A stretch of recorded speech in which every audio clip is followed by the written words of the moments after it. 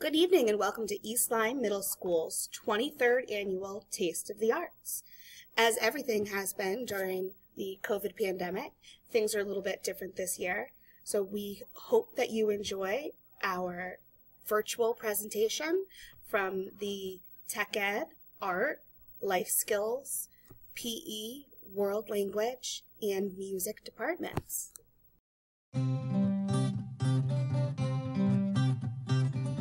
Going? I'm Mr. Grant. And I'm Mr. Sprankland. And uh, we're the tech ed teachers at, here at East Lyme Middle School. Welcome to uh, Taste of the Arts. Uh, we'd like to give you a little tour around our tech ed facility and let you know what uh, your student is learning this year. So in eighth grade, eighth grade is a big engineering design unit. Um, we start off with a safety unit covering basic woodworking skills where we make this little wooden puzzle right here. And then after that, students design, build, and test their own catapults. Got some catapults right here that we can look at, and then I've got a lot more down there. The students all kind of analyze these, figuring out what how they work, um, and then they use power tools in the back of the shop. Um, we use the drill presses, we use the scroll saws up against that back wall, we use the drill press, I mean the bandsaw, and then we also will use the miter saw um, and the sander. Um, students don't use the table saw but they use almost all the other tools back here. And, and from there, uh, that's what they'll, that's how they'll make their catapults. In fifth grade, the students are starting to learn about the engineering design process. It's a series of steps that we use um, to solve problems, and we're getting the students um, to understand that problem solving is the root of all engineering. So with that, uh, the culmination is our, our bridges unit where the students will learn about um, tension and compression and they will also have the ability to model and design and build a balsa wood bridge, which we will then put into this machine here.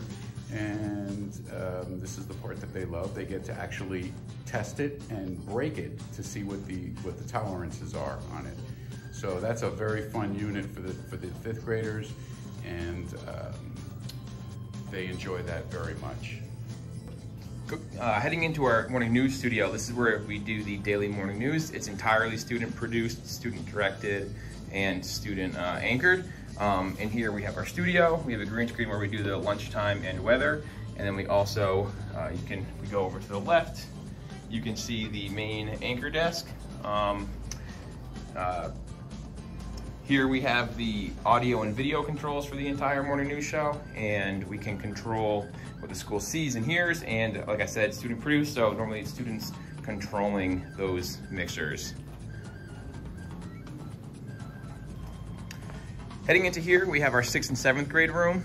In sixth grade, the students will do uh, robotics, and we use the robots that are back over here. They're very similar to the BB-8 droid from Star Wars, for you Star Wars fans. Um, we'll use the iPads to control that. They'll do some free driving, and then they'll also do some uh, programming with that. Um, and then the students also will do some video editing uh, using Adobe Premiere Pro. With Adobe Premiere Pro, it's, like a, it's actually a high-end software. Some Hollywood studios use it. So, and then in seventh grade, um, seventh grade, our students start to begin to think about objects in three dimensions we take them through and we start using this uh, software here called Tinkercad, which is a um, educational version of the very popular and professional AutoCAD, which is used to create um, uh, blueprints for homes and home renovations and tools. And uh, this is some of the some of the objects that the students will will work on modeling and rendering. Um, we also have them work on a little keepsake that they can make. Uh, they must build these little keychains to spec and they can design their own um, content to put on the top. And we will actually use the 3D printer to print those. Um, another project that we worked on a little bit last year during COVID was uh, trying to model um, and create objects that, that you could use in, in 3D space um, and actually create letters that can be potentially dual purposed. So this was a fun project that uh, we're still we're still working on developing, but the students really like this thing. And uh, at some point, we'll probably 3D, 3D print these objects on our, our 3D printers, um, which I'll show you right over here. Just happen to have something printing on the 3D printer right now. We were fortunate enough to add a third 3D printer to our roster of printers. And uh, so the students will learn about um, additive uh, printing. And uh, that's it for uh, our section of Taste of the Arts. Stay tuned for the next Life's, uh, Life Arts class, and uh, have a good night.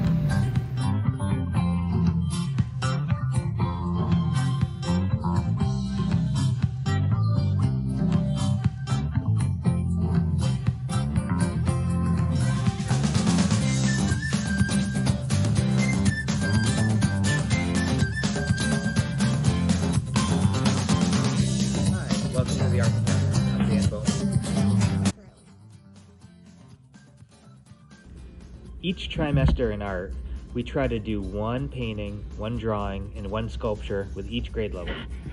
Our goal is to give a well rounded visual arts education and to foster creativity and problem solving.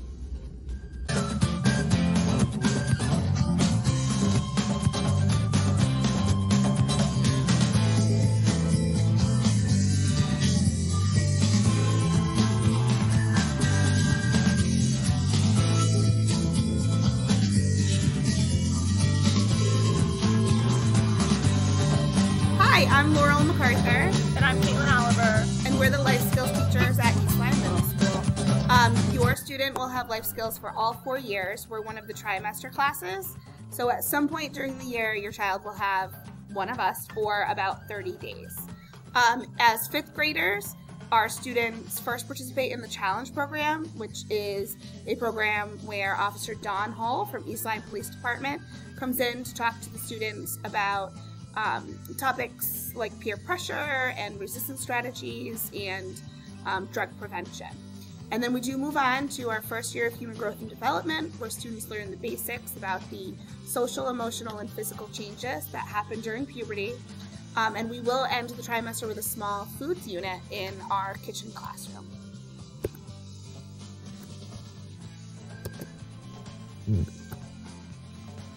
In sixth grade, our students start the trimester with a sewing unit. They're going to learn how to sew by hand. So we learn basic stitches, like running stitches, how to sew on a button, and they make a small project. We then move on to our working on wellness unit. Students are going to do a review of some human growth and development information from fifth grade um, with a major focus on social and emotional changes. And then they will do a unit on drug prevention where we'll talk about things like gateway drugs, tobacco, vaping, and things like that. In seventh grade, we continue our drug prevention unit. Um, we focus mostly on what addiction means and the stages of addiction in seventh grade. Um, then we move on to our human growth and development unit, where we take a more in depth unit.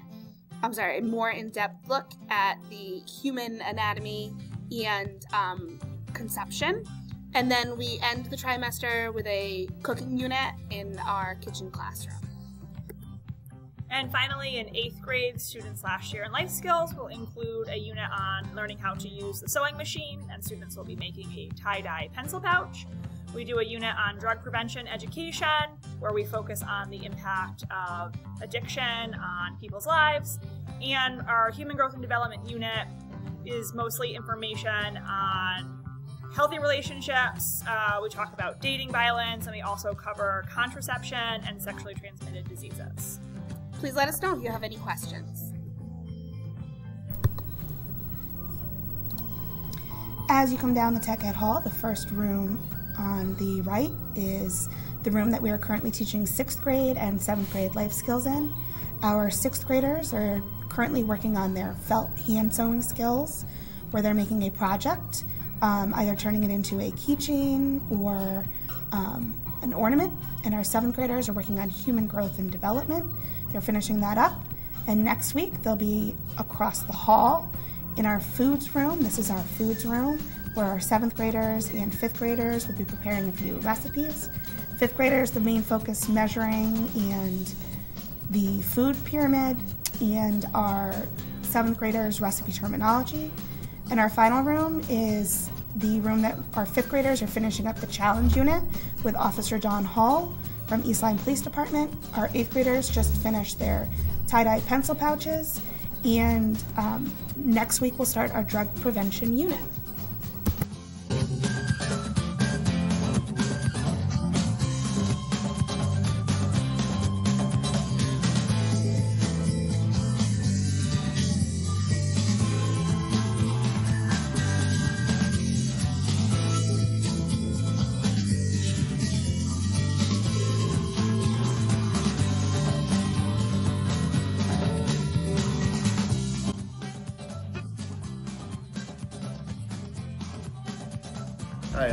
Shepard, one of the physical education teachers here at East Lyme Middle School. Hi, my name is Mrs. Favory. I'm one of the PE teachers here at the East Lyme Middle School. Hi, I'm Jimmy Cunningham, one of the East Lyme Middle School phys ed and health teachers. Hi, my name is Miss A. I am one of the physical education teachers here at East Lyme Middle School. Seventh and eighth grade, the students will cover the following units in PE. Fitness, football, lacrosse, adventure, pickleball, volleyball, wellness center, and finish the year out with Survivor. Seventh and eighth grade health this year, we will be teaching the kids the following units. Nutrition, consumer and community health, mental health, suicide, depression, eating disorders, and we will re- review CPR. Fifth grade units of study will be fitness, speedball, line dancing, basketball, adventure. We will be in the wellness center. We will cover, cover track and our survivor unit. Our fifth and sixth grade health curriculum will cover nutrition, consumer and community health, physical, emotional, and mental health, first aid and accident prevention, and CPR.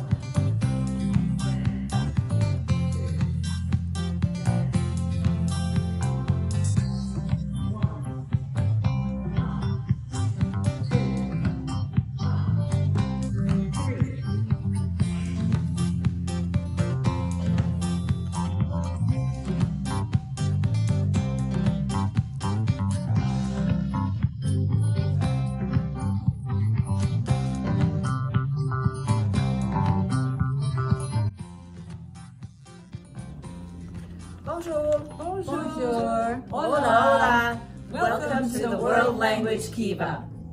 Hi, I'm Kate Letelier, and I teach fifth through eighth grade, both French and Spanish.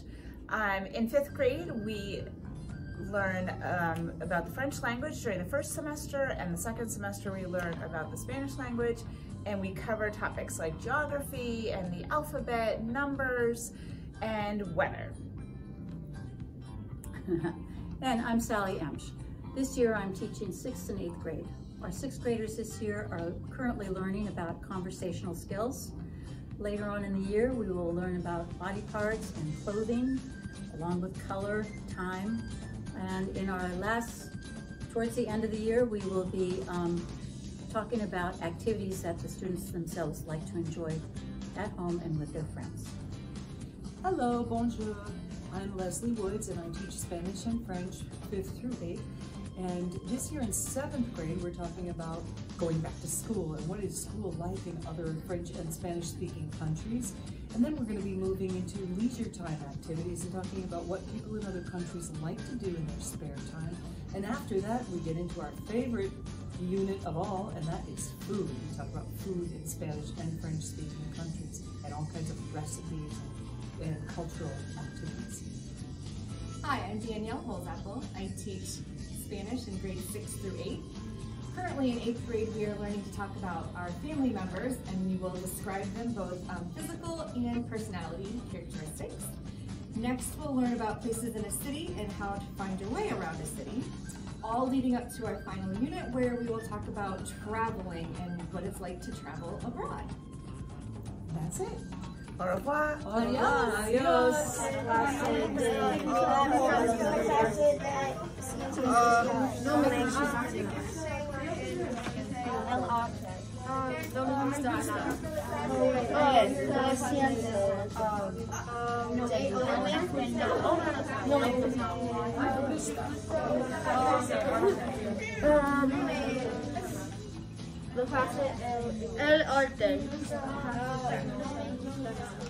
matemáticas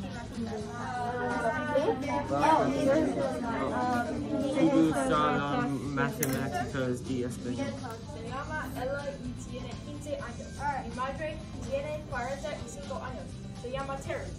Mi papá, Chris, tiene 52 años. Mis abuelos tienen 73 años. Se llama Jeff y Cindy.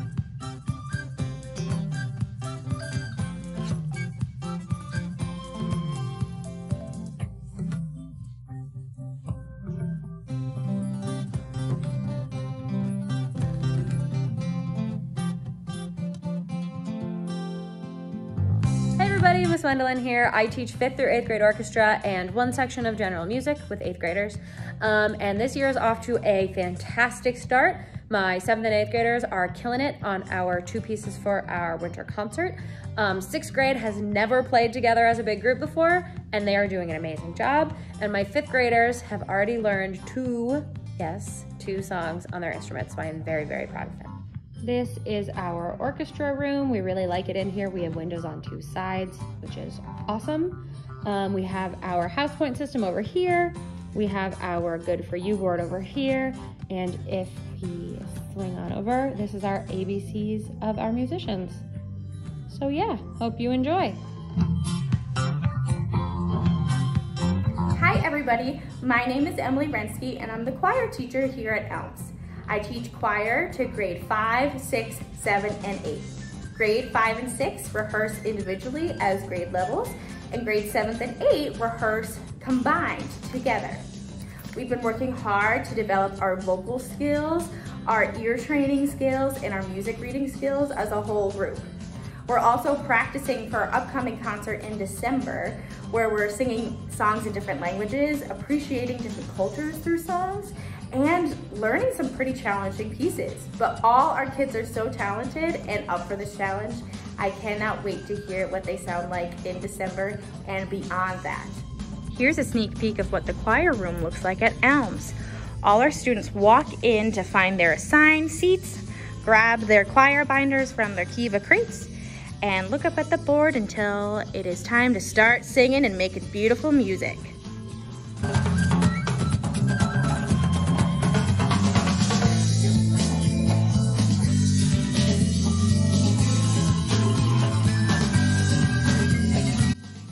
This is Justin Daly, the 5th and 6th grade band teacher here at East Lyme Middle School. I'm going to briefly be talking to you about what we've been doing so far in 5th and 6th grade band. So in the 6th grade band, we've been playing this song called The Cyclops, which is really exciting. The kids have been really into it and we're basically done playing the whole thing. We're going to be getting a new song in the next week or two. In the 5th grade band, they are our beginners. So we've been playing uh, just beginner music and we're just getting to the point where we can play the famous Hot Cross Buns. Overall, we've been having a lot of fun so far, and it's been great to make music again. Uh, now you get a quick tour of the band room in just one second. Hi everyone, my name is Colin McCune. I am teaching the 7th and 8th grade band students this year. So far we've been getting back to basics, remembering what it feels like to play in an ensemble. The students are preparing some music to be recorded for a Veterans Day video that's done in East Lyme. They're also preparing other concert music, getting ready for potential performances in the future. The students meet with me every other day. They also meet every once in a while for a rotating lesson that lets me uh, give some more specific instruction to instrument groups. In addition to the 7th and 8th grade band students, um, we're also offering a jazz band this year that I'm, uh, that I'm running. So if anyone has interest in jazz band, please go ahead and contact me. If you have any questions, let me know, and I'm looking forward to a good year.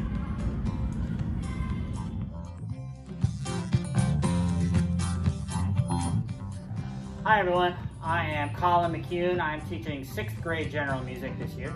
Hi, I'm Emily Rensky. I'm teaching grades 5, 7, and 8 general music this year. I'm Laura Beth Wendelin. I'm teaching 7th and 8th grade general music this year. I'm Justin Daly. I'm teaching 5th, 6th, and 8th grade general music this year. So in the general music class, we do a lot of different things. I just want to list a couple of the things for you. We do some keyboarding um, that involves uh, playing the piano with chords and other notes. Um, we are doing ukuleles for the younger students. Our older students are learning how to play the guitar. We also are using our technology in this room to do some beginning music production lessons. We also do other general computer music as well. So if your student is in general music and you have any questions for us, please feel free to contact us. We're looking forward to.